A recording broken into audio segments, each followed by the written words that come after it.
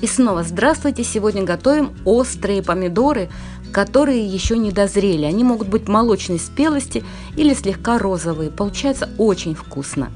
Сегодня у меня 1 килограмм 200 грамм помидоров. 200 грамм моркови, 200 перца и одна перчина. Чеснока взяла две головки.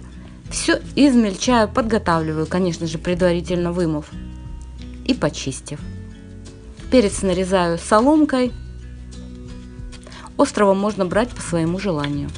Морковь натираю на терке, можно, конечно, тоже нарезать соломкой.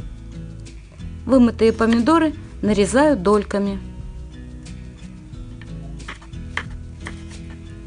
Помидоры, приготовленные таким образом, получаются сочными, ароматными, пряными, изумительно вкусными.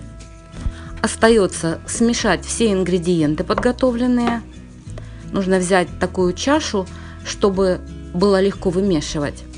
Сюда же добавляю пол чайной ложки перца черного молотого, полную кориандра молотого чайную и 2 чайные ложки также полные сладкой паприки. 50 граммов сахара добавляю, это примерно 3 полные столовые ложки. И одну столовую ложку соли, это где-то 16 грамм. Масло мне понадобится 100 грамм растительного, и его нужно хорошо разогреть, но не кипятить. Этим маслом горячим поливаю специи. Они так будут более ароматными. В конце добавляю 50 грамм 9% уксуса. Теперь нужно все хорошо перемешать.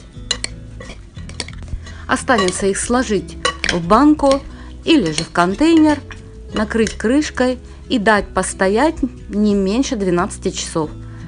Затем убираем в холодильник и наслаждаемся вкуснейшей закуской, которая действительно понравится всем любителям остренького. Но остроту, конечно же, здесь можно регулировать по своему вкусу. Вот такая вкуснотища в результате у меня получилась.